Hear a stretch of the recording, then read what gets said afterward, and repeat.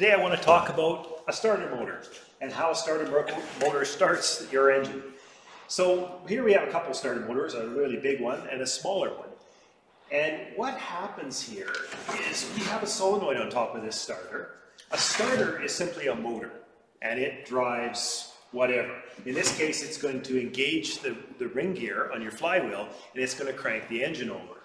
Now it does that through a solenoid. And the reason we use a solenoid is so that we can uh, control the flow of power. So what we do is we take the positive terminal of the battery and we connect it to the battery terminal. That insulates the power from the starter at this point. Now the only way we can get that starter to ignite is over here is an S terminal.